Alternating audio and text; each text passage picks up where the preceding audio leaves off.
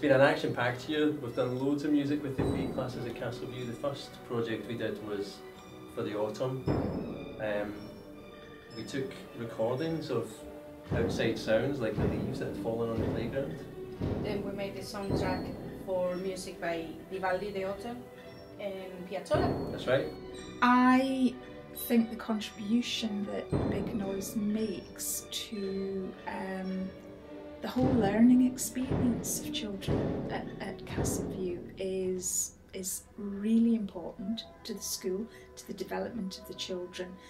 It helps join up a lot of the learning experiences. So because Ian and Veronica um, meet with us and talk about the next term's topic and then link the activities and the music to the topic, it helps our children make those connections. Then we did the Gruffalo for World Book Day In Scots, in Scots with narration from people that were fluent Scots speakers and otherwise. Special mention to Mrs Blakemore's class for the costumes and masks for the Gruffalo. They're an integral part of the timetable and of the children's learning, and they're also a lot of fun. And after the Easter holidays, we've really spent a long time working with the Mini Beasties project. which involves playing a lot of real instruments. Yep. So we don't have any electronics, and the kids are really playing with real instruments and no help from any adult.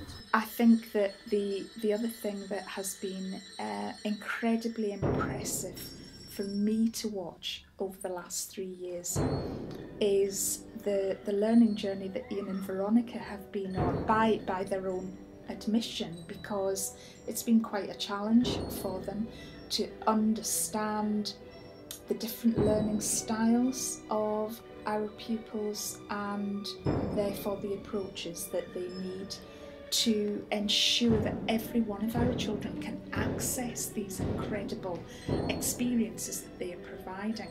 They've then been able to adapt their approaches and the equipment to really enrich the experiences for the children.